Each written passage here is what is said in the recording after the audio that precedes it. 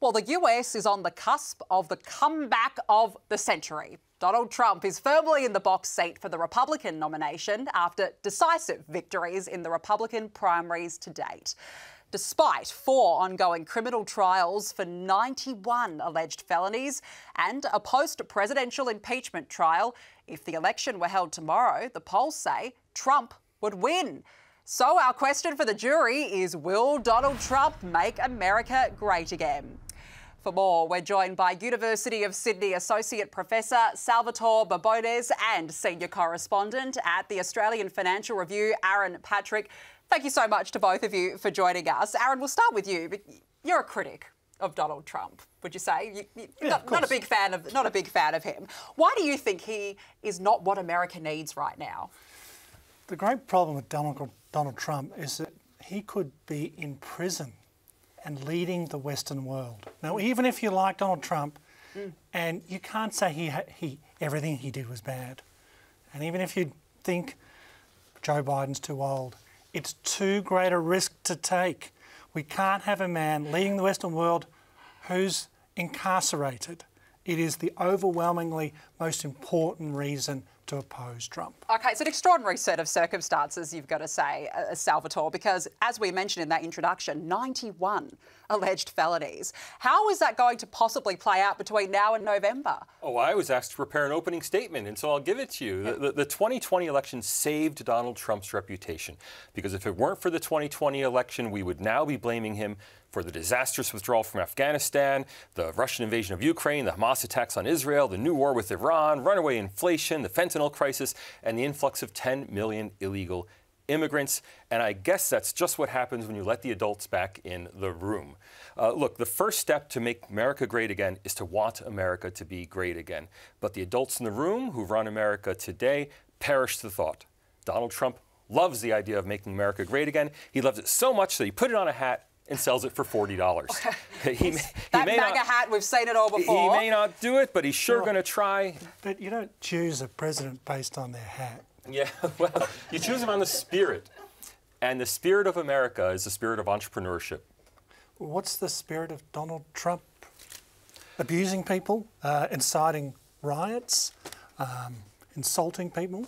Oh, I don't think it's inciting a riot when your opponents do everything possible to stoke some kind of uh, irregularity in the electorate to try to make things happen. I mean, if you look at the, if you're talking about riots, if you mean January 6, 2021, more and more evidence is coming out that the FBI had a large role to play in that. Now, were the people there genuinely there to have a protest? Sure. Were the people there for a riot? I'm not so sure. Well, see, this is the issue because Donald Trump's got that big MAGA supporter base, and a lot of those people believe that this was a witch hunt from the very beginning. How are Democrat voters going to go up against that? A lot of Americans don't trust their legal system, and they believe the the 91 charges against Trump are politically inspired. The reality is, Donald Trump lost the election, and then he said to everyone, I didn't, and let's overturn it. He essentially tried to stage a coup. Now, even if you're a conservative, perhaps especially if you're a conservative, you want to uphold democracy. You don't want populist politicians going around and trying to overturn the vote of the people, even if you disagree with it, which is what he tried to do. Okay, let's go to the jury. Tom, uh, up the back there. How do you feel about the possibility of a Donald Trump comeback? I don't think it'll make uh, America any any worse than it is at the moment. Um, sleepy Joe Biden's at the wheel at the moment, and that's obviously a big security risk. Yeah, so you're not worried at all? Uh, not worried at all, no. No, and Terry, what does a Trump comeback mean? Well, personally, I don't like Donald Trump. I think he's a pompous buffoon. But why is uh, that? Uh, just, just the way he goes on, his, his character and what's happened previously. Um, he doesn't seem to care about anyone but himself, although he does want to make America great again, which is good.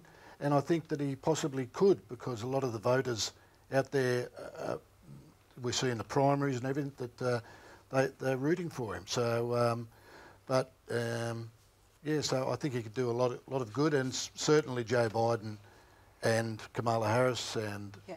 I can't, yeah. still can't believe that in that large population, they can't find two candidates. Well, this than this is guys. going to be the interesting part because, uh, uh, you know, uh, realistically, is Joe Biden the man for the job again? Can he really go another round?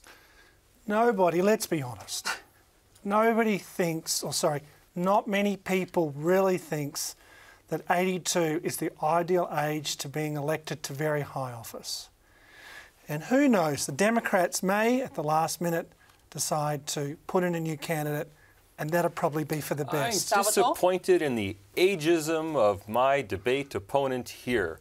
Uh, there's no age that's the wrong age to be president. The issue is capacity, the issue is ability. Donald Trump, you watch his speeches, you watch his rallies, he is in command when he gives those speeches. He knows saying- the facts, he's- he's got them he's at his saying he's in- fingertips, he's ready to go. I'm not sure if he's in command of the English language or something else. I'm not sure what you're referring to. But uh, clearly, clearly, um, it's hard to argue that Donald Trump is a serious human being. Okay, well, look, I mean, there's a lot of time to go between now and November, but right now, we want to throw this to the jury because you've both had a, a great debate on this. But let's call on the jury. You have 10 seconds to deliberate now. Will Donald Trump make America great again? Yes, I think he will. So I'll put my guess. Just make sure I'm doing the right, the right panel, will you? What do you? Time is up. What is the jury's verdict? Okay, we've got three no's, so therefore the rest of you believe that Donald Trump will make America great again. Sam, why yes? Well, when he was in last time, he uh, he uh, got a peace deal in the Middle East with uh, a few Muslim countries to sign with Israel. He's got Saudi Arabia ready to sign a peace deal with Israel. No other president has ever done that. When he was in office for 40 years, Yeah. he is the first president to be in office without a war. Yeah, well, it'll be interesting to see what he could do in the Ukraine and the Middle East. Uh, Theodora, you were one of only a few who just voted no. Why? I think America should look deep into its population and find two decent men, not the two geriatrics right now that are fighting for the presidency and the beautiful Oval Office. They need a capable young person with political stand and with love from everyone to unite that great nation. Okay, well, whether they can find it or not, I guess that remains to be seen. Salvatore Babones and Aaron Patrick, great to speak with you both. Thank you so much for joining us this evening.